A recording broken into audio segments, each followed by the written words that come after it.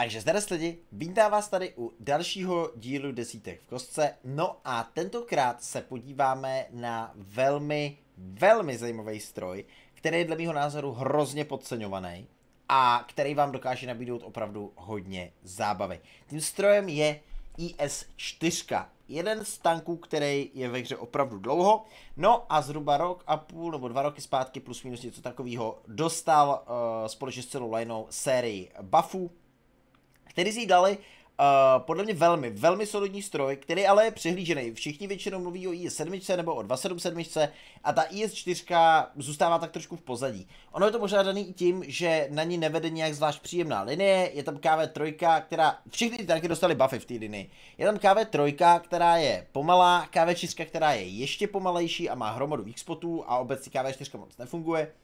V podstatě to asi víte sami, že ji skoro nepotkáváte ve hrách. No a pak tam STIčko, který si myslím, že je, nebo ST1, eh, která si myslím, že je super, ale taky moc lidí nehraje a obecně ten tank nemá co extra nabídnout. A pak je tam teda IS-4. A IS-4 je monstrum. Je to v podstatě něco, jako kdybyste dali eh, Rusům plány na to udělejte mauze, a teď se bavíme o World of Tanks, o tom, jak využijete tank přímo ve Ne, ne ve skutečnosti, samozřejmě, že jsem si vědomý toho, že ty tanky vypadají úplně jinak. Ale je to takový ruský mouse v podstatě. Je to tank, který se hraje velmi podobně jako mouse, to znamená, hraje se přes uhlování pancíře, ale na rozdíl od Bauze, tady ten pancíř funguje. Možná protože to je ruský tank. Pojďme se na ten uh, pancíř teda podívat uh, přímo v číslech a ty čísla jsou velmi dobrý. Vy máte 180 mm na vaně naúhlovaných, takže přímo takhle je to 200, třeba 50, tady někde možná v kraji míň.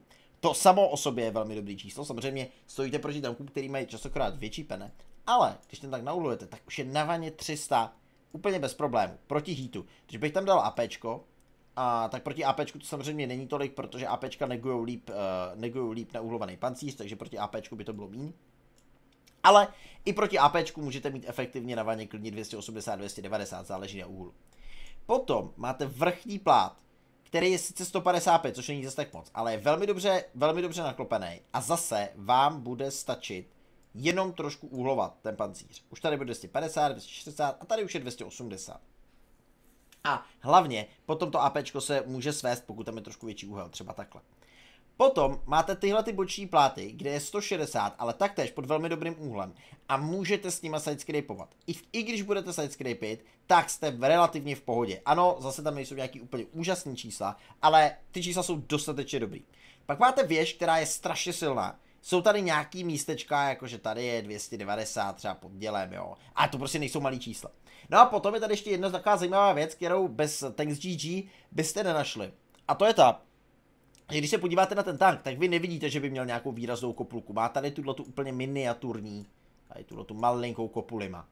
To znamená, že když ho vidíte takhle, tak reálně není žádný očividný místo, kam střílet. Tady tohle je jenom uh, vlastně to místo, kde sedí ten člověk, co ovládá kulomet, takže tady do toho střílet nejde. No a neřekli byste, že ta věž má nějaký výrazný weak. Když se podíváte na live model, tak vidíte, že najednou se ta kopulka relativně zvětší a není až tak malá ale ona vůbec nejde poznat v tom vizuálním modelu. Ten vizuální model nekoresponduje s tím modelem toho pancíře live. Tady to je docela jasně vidět. Takže ta střecha vlastně eh, končí jakoby níž. No a ona ta kupulka není až tak malá, ale reálně ona není nejde pořádně zamířit, protože vy nepoznáte vizuálně na tom tanku kde je. Takže když máte IS-4 v Haldownu, tak ji můžete probíjet sem, ale velmi těžko. A jinak maximálně poddělo s velkou penetrací. Všechno ostatní ty čísla jsou de facto neprobitelné. Ještě teda na druhé straně, tady je, tady je místečko, tady je takový pixel, taky to bylo vidět na tom live modelu. Tak tady ještě můžete probít. Ale taktéž 258 mm, to rozhodně není, není malý číslo. Takže, a přední pancíř velmi dobrý, no a teďka, kde začíná být teprve pravá sranda, jsou boky. Boky toho tanku mají 160 mm, to je strašně moc, to je možná jedna z největších hodnot ve hře. Mouse bude mít sice víc, ale mouse tam nemá pásy. 160, to znamená, že vy můžete úhlovat ty boky úplně šíleně, klidně i takhle třeba, což už s většinou tanku by procházelo. A budou tam fakt velké hodnoty. Ten tank se hraje přes uhlování pancíře, jakmile neuhlujete IS-4, hrajete ji špatně. Já bohužel ještě nemám v tabulce od Luka zapsaný uh, výsledky. Každopádně IS-4 dopadla by far opravdu o hodně nejlíp na uh, hodnotu efektivity pancíře. Mám tam asi 1,24 poměr uh, o zablokovaný a obdržený damage, což si myslím, že je fakt hodně. takže IS-4 kladivo, k tomu pancíři samozřejmě záleží i další vlastnosti. Ty další vlastnosti nejsou nic extra, ale ten pancíř je opravdu výborný.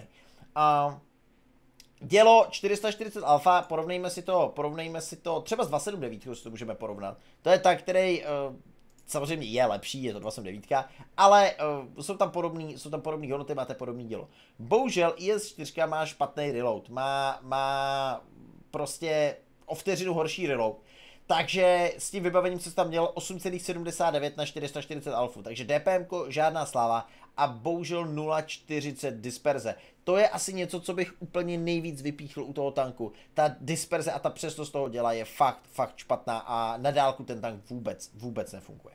A lepší maximálka, bohužel na tu maximálku se hůř dostanete, protože máte horší, um, máte horší odpory, teda ne odpory terénu, máte horší poměr koní na tunu, a uh, trošku lepší terén rezistenci, ne o moc horší na, uh, na tomhletom, na měkkým terénu.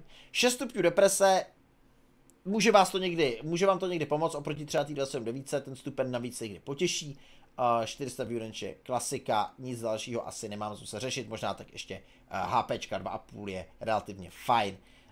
Um, mobilita teda nic extra, zázračního dělo taktéž, ale vyhrajete IS-4 na blízko a na blízko to dělo funguje dobře. Máte 340 pen heat, uh, se kterým budete párat většinu věcí, které uh, uvidíte. Pokud náhodou ne, nechcete uh, střílet heaty, 258 pen AP je standard na desítkový heavině, tam není moc co na tom asi řešit. Takže Uh, tolik asi k teorii o IS-4. Ten tank je opravdu velmi, velmi silný a hlavně on exceluje tehdy, když proti vám lidi trošku neví, co se děje. Samozřejmě, jakmile potkáte dobrýho hráče, tak on si na ty úhly dá pozor, nabije na vás goldy a prostě jakmile se mu nějak naúhlujete, tak vás častokrát probije. Ale pokud se dobře úhlujete, tak tam někdy, skoro vždycky tam bude nějaký typ úhlu, uh, který se velmi těžko bude probíjet. Tak jo, Uh, takže tolik asi k teorii, uh, ještě vám ukážu polňáky. Nemám teda výsledky, každopádně z hlavy můžu říct, že jsem s tím tankem za 50 bitev udržel 4720 average, uh, s asistem nevím kolik, s dobrým winratem, myslím si, že to bylo přes uh, 68%, tak něco, to si nepamatuju. A, a hlavně 1,24 to číslo si pamatuju, ta efektivita pancíře, takže velmi, velmi dobrý držák. Tady teda uh, polňáky, to je jenom pro jistotu, kdybyste se na to chtěli podívat. No a můžeme se vydat do hry. Uh, není to nejlepší hra na damage, nejlepší hra na damage je asi 9200 v osmičkách a říkal jsem si, že vám radši ukážu nějakou hru v desítkách, abyste trošku víc a líp viděli uh, to, jak ten tank funguje. Je to na, mm, je to na Ghost Townu, na městě duchů, setupy jsem jezdil klasika, jeden setup s HPčkama, druhý setup s turbem, většinou skoro na každý mapě, co jsem hrál, bylo nějaký místo, kde jsem věděl, že si chvíli zaseknu, takže jsem většinou hrál HPčka, eh, na pár mapách jsem používal turbo, ale ono to většinou bývá tak s tím map designem, že uh, to turbo používáte někam na nějaký kopec nebo na nějakou pozici, kde se hraje přes depresi. No a je to ruský tank, takže ten depresí neoplývá. A tím, že depresí neoplývá, tak častokrát na tu pozici vůbec nejedete, nebo vám je jedno, že jste tam pozdě, protože tam stejně nic neuděláte. Takže HPčka pro mě byly ta cesta. Tak, eh, a teďka zrychlíme, než tam dojedem, nebo můžeme se jenom podívat na tu pohyblivost bez turba, nic extra, je to ale pohyblivější než ST a aspoň to máte tu maximálku, to znamená, že když jedete z nějakého takového kopce, tak těch 43 uh, tam vyskočí vlevo dole, sice chvíli to potrvá, ale vyskočí. No, na Ghost Townu je de facto jedna jediná pozice, kam jít za vinou, mě žádný, neznám žádný jiný, mě nenapadají a ta jediná, jedna jediná pozice je samozřejmě tady na tom družku pod tou, pod tou zříceninou té budovy. No a hned na začátku si ukážeme právě skvělou vlastnost E4 a to je cinkání. Protože máme tady hrdinu s Kranwagnem a to je jako to je jako all right play. Samozřejmě, vy byste ideálně chtěli, aby za váma někdo stál, když tohle to děláte s tím kranem, ale pokud za váma někdo stojí, tak ta play je v pohodě, co on dělá. Uh, bohužel jedna věc je myšlenka a druhá věc je praxe a realita. Viděl jsem, že nic sedí za ním, takže si ho sidescrapenu. První hit do boku.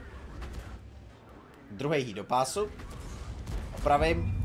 Třetí hit bounce. On nabíjí a nic moc za tím nestojí. Takže co já udělám? Najedu si tak, to je taková drobnost, najedu si tak, aby mezi tou sedmou a tím úděsem byla tady tahle zeď. Vím, že ten kran nabíjí. No a to tady podle mě nemůže, protože právě nevidí přes toho krana. Teď mě bohužel uh, tracknul uh, týpek s... Uh, týpek. s hečkem. No, já ho nestihnu zabít, bohužel. Vím, že nabije další klip. Takže ještě jeden hitový klip. No a třetí dal radši do STčka, protože pochopil, že uh, můj pancíř asi nebude kamarád. No a takhle vyřešíte s IS-4 celýho krana. Samozřejmě ano, pomohlo trošku to, že tady byl někdo se mnou, ale uh, úplně v klidu bych ho vyřešil i sám. Takže tohle je jeden z důvodů, proč jsem vám, proč jsem vám chtěl ukázat uh, tenhle ten replay, hnedka ten začátek, protože je to docela vtipný. No a tady teďka se ukazuje další věc, která už není tak super a to je to dělo. Uh, Tohle to je maximálně domířený a vidíte, že ten kruh je prostě velký. A neposlouchá to, neposlouchá to. Uh, tolik mistuje krát, hodně mě to připomínalo dělo 705Ačka, který má ale 650 alfů. Máte 440 a oproti jiným tankům, co mají 440 alfů, to dělo prostě neposlouchá. Tady to bude krásně vidět. Mám pocit, že mu netrefím ani jednu ránu tomu, tomu Amíkovi. Možná jednu, nejsem si jistý. Úplně, úplně jako eh, do sraček to lítá. Takže na to pozor, uh, ten tank je prostě na blízko a tyhle ty rány pro ní jako nejsou vůbec dělaný. Naštěstí on otočil věž, tak tahle ta už mě poslechla, takže aspoň něco.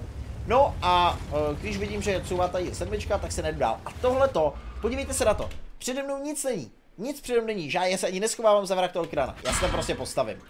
Bohužel opět dělo mě zklame, já se tam prostě postavím a TVPčko s APCRkama nemá nejmenší šanci mě probít. Samozřejmě, že vy jste se koukali na ten uh, pancíř na XGG tak nějak jako s tím, že vždycky jste viděli hodnotu 260, 270, říkali jste se, hm, o, no, jakmile má desítka goldy, tak vás probije. Jenže ne, každý, ne každá desítka stří goldy. Hlavně ty metka nemají pořád nabitý goldy. Nemají. A core, uh, core autoloader jako je Badchat nebo jako je TV Poatere. Ten tank má silný pancíř proti daleko víc strojům, než byste si mohli myslet. A díky tomu uh, dokážete potrojit úplně neskutečné množství lidí. A co je super je to, že vy nemusíte, na rozdíl od jiných tanků, jako já nevím, 277 nebo i třeba ten Kran a podobně, Uh, u těch jiných tanků vy pořád potřebujete hledat nějaký místo, uh, za kterým se budete schovávat, nějakou překážku, vrak nebo nějakou haldu, cokoliv. S IS-4 ne. Vy s IS-4 můžete stát prostě normálně na openu, ale musíte být ready na to, odkud na vás kdo střílí, uh, kdo na vás může a nemůže a podle toho se musíte úlovat. A není to snadný a nepůjde to každému pokud jste začátečníci ve vodku nebo prostě nejste úplně zkušený, eh, tak jste si možná mohli říct, že tady na ten tank piju jenom chválu a že je to úplně neskutečný kladivo. Vy musíte vědět s tou IS4, co děláte a musíte se umět úhlovat. A není to samozřejmost. Ano, někdy vás ten pancíř zachrání, přestože vy uděláte chybu, ať už uh, z RNG na penetraci nebo z RNG na přesnost, že uh, těm nepřátelům nebudou ty uh, rány lítat tam, kam oni by chtěli. Ale obecně prostě se musí říct, že vy musíte vědět, co děláte. Pokud to nevíte, pokud nevíte, jak fungují uhly uh, a nemáte představu o těch penetracích, o těchto těch věcech, tak i asi nebude tank pro vás. Ale pokud jste třeba modrý hráč, zelený, modrý, už máte něco nahráno, teď se bavím o venku samozřejmě, mm, a třeba jste tu IS4 přehlíželi, říkali jste si, no, IS4 nikdo to nehraje, bla, bla, tak proč bych to hrál já? Uh, věřte mi, ten tank má opravdu velký kouzlo a dokáže neskutečně tahat bitvy. Tady jste to krásně viděli, zase. Neuhloval jsem se proti Grillovi a zároveň proti Úděsovi a takhle to dopadá. Takže ta hra není nic tak extra, jako že bych vám tady teďka prostě ukazoval uh, 7000, 8000 damage.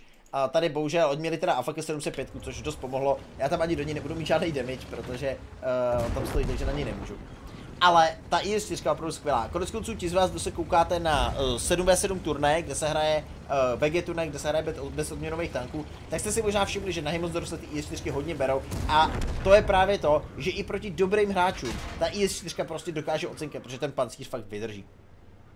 Tak, já si myslím, že asi hlavní věci jsem, jsem k tomu řekl, tady jsem ještě teďka dostal ale ten tak má dostatečný množství HPček na to, aby něco vydržel. Jsem ještě doplnil 10, to je myslím všechno z té hry, myslím, že víc to nebude. A každopádně tohle je takový typický gameplay. Vy se snažíte pušovat, snažíte se hrát pořád dopředu. Pokud máte možnost uh, střílet, nebo nejenom střílet, ale utkat se s někým, kdo má malou pene, třeba proti kranům si můžete strašně věřit, proti IS-7 si můžete strašně věřit. Uh, I proti Mausu. Maus je teda vysoký, ještě nadáno do TVP. Maus je vysoký, uh, takže ten vám trošku neguje ten pancíř eh, vrchního plátu. A jo, nakonec jsem na toho grilla. Ale uh, proti hromadě tanků, který nemají dobrou goldovou pene, vy si můžete věřit. A můžete prostě nejíždět na tyhle ty openy a můžete prostě hrát tak, jak jsem hrál já proti tomu Kranovi. Opravdu i4 za mě asi největší, nevím jestli přímo překvapení, protože já jsem věděl, že ten tank bude dobrý, ale uh, největší radost mě udělal ten stroj, společně s 5 Ačkem. Je to opravdu takový takový skrytý diamant mezi desítkama, který nikdo moc nezná a myslím si, že stojí se to se na něj, se na něj mrknout. Samozřejmě problém je ta linie, která na něj vede. KV4 za mě bylo strašný utrpení, když jsem mi tehdy jezdil. Ona teda dostala nějaký buffy, ale myslím si, že stále to je, stále to je shit. KV3 asi na svém týru v pohodě, ale ST bych řekl, že je docela, docela klidu tančík. Máte 8 stupňů deprese a máte jinak podobný charakteristiky jako ST2, akorát prostě nemáte ten double barrel a jste o níž, takže, takže to si myslím, že bylo, že je fajn. Takže tak, takže tolik k IS-4, uh, možná, že vám ještě někdy pustím ten druhý replay, uh, viděli jste asi v praxi i to dělo, který úplně nefunguje, uh, jak, byste, jak byste si představovali na dálku, no to ani nemá na dálku, prostě když potřebujete trefit nějakou malou plochu, uh, tak to dělo prostě nefunguje, ale ten tank by zase nemohl mít všechno. Tak jo, uh, to je asi všechno k i4, snad eh, jste se poučili, případně jak proti ní hrát. Eh, pokud eh, hraje i4 dobrý hráč, tak si musíte vyhledat ty úhly, kam zrovna střílet, kam nestřílet a dávejte si pozor, ty boky jsou fakt silný. I když máte pocit, třeba pod tímhletím úhlem klidně to vám to může obouncovat. I, I když máte pocit, že by, že by to nemělo. Tak jo, tolik asi všechno k i4, díky vám, že jste se koukali a budu se na vás těšit u dalšího videa. Mějte se a čus.